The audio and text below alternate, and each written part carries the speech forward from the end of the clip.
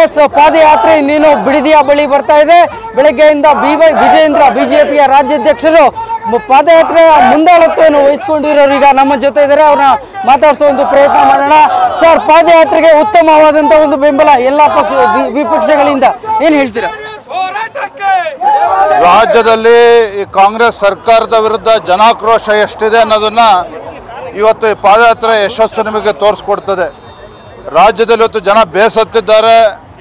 ವಚನ ಭ್ರಷ್ಟ ಮತ್ತು ಭ್ರಷ್ಟ ಕಾಂಗ್ರೆಸ್ ಸರ್ಕಾರದ ವಿರುದ್ಧ ದಂಗೆ ಹೇಳ್ತಕ್ಕಂಥ ಪರಿಸ್ಥಿತಿ ನಿರ್ಮಾಣ ಆಗಿದೆ. ಸರ್ ಎಲ್ಲೋ ಒಂದ್ ಕಡೆ ಕಳೆದ ಮೂರು ದಿನಗಳಿಂದ ನೋಡಿದ್ರೆ ಮುಖ್ಯಮಂತ್ರಿಗಳಿಗೆ ಕಾನ್ಫಿಡೆನ್ಸ್ ಡೌನ್ ಆಗಿದೆ ಅಂತ ಅನ್ಸುತ್ತೆ. ನಿಮ್ಗೂ ಹಂಗೆ ಅನ್ಸುತ್ತಾ?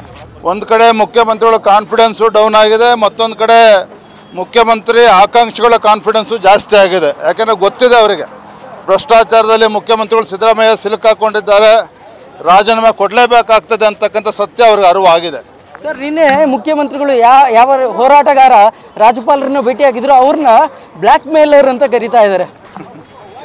ಇವರು ಬುಡಕ್ಕೆ ಭ್ರಷ್ಟಾಚಾರ ಬಂದಿರೋದ್ರಿಂದ ರಾಜೀನಾಮೆ ಕೊಡಬೇಕಂತ ಸಂದಿಗ್ಧ ಪರಿಸ್ಥಿತಿ ಬಂದಿರೋದ್ರಿಂದ ಈ ರೀತಿ ಆರೋಪಗಳನ್ನು ಮಾಡ್ತಾ ಇದ್ದಾರೆ. ಸರ್ ಇನ್ನೊಂದು ಕಡೆ ಯಾದಗಿರಿಯಲ್ಲಿ ಪಿ ಎಸ್ ಐ ಪರಶುರಾಮ್ ಅವರು ಆತ್ಮಹತ್ಯೆ. ಸರ್ಕಾರ ಸರ್ಕಾರ ಇಲ್ಲಿವರೆಗೂ ಯಾವುದೇ ರೀತಿಯ ಕ್ರಮ ಕೈಗೊಂಡಿಲ್ಲ. ಏನು ಹೇಳ್ತೀರಾ ಈ ವಿಚಾರ ಹಿರಿಯಣ್ಣನ ಚಾಳಿ ಮನೆ ಮಂದಿಗೆ ಅಂತ ಆಗಿದೆ. ಇವತ್ತು ಸಿದ್ದರಾಮಯ್ಯನವರು ಸರ್ಕಾರನೇ ಇವತ್ತು ಭ್ರಷ್ಟಾಚಾರದಲ್ಲಿ ಮುಳುಗಿರ್ಬೇಕಾದ್ರೆ ಆಡಳಿತ ಪಕ್ಷದ ಶಾಸಕರು ಕೂಡ ಇವತ್ತು ಲೂಟು ಹೊಡಿತಾ ಇರ್ತಕ್ಕಂಥದ್ದು ದಿನೇ ದಿನೇ ಹೆಚ್ಚಾಗ್ತಾ ಇದೆ. ಅದರ ಪರಿಣಾಮನೇ ಇವತ್ತು ಯಾದಗಿರಿಲಿ ನಡೆದಿರ್ತಕ್ಕಂಥ ಘಟನೆ. ಸರ್ ಮೂವತ್ತು ಲಕ್ಷ ರೂಪಾಯಿ ಡಿಮ್ಯಾಂಡ್ ಮಾಡ್ತಾ ಇದ್ದಾರೆ ಅನ್ನೋದು ಅವ್ರ ಹೆಂಡತಿ ಅವ್ರ ಪತ್ನಿಯವರು ಆರೋಪ ಮಾಡಿರುವಂಥದ್ದು. ಶಾಸಕರು ಅರೆಸ್ಟ್ ಆಗಬೇಕು ಅಂತ ಪ್ರತಿಭಟನೆ ಮಾಡ್ತಾ ಇದ್ದಾರೆ ಸರ್. ಬಂಡ್ರಿದ್ದಾರೆ ಇಂಥ ಈ ಪ್ರಕರಣ ಕೂಡ ಮುಚ್ಚಾಕ್ತಕ್ಕಂಥ ತಾಕತ್ತು ಕಾಂಗ್ರೆಸ್ ಸರ್ಕಾರಕ್ಕಿದೆ ಸಿದ್ದರಾಮಯ್ಯನವ್ರಿಗಿದೆ. ಈ ಪ್ರಕರಣನೂ ಕೂಡ ಮುಚ್ಚಾಕ್ತಕ್ಕಂಥ ಕೆಲಸ ಯಶಸ್ವಿಯಾಗಿ ಮಾಡ್ತಾರೆ ಅವರು. ಸರ್ ಕೊನೆಯ ಪ್ರಶ್ನೆ.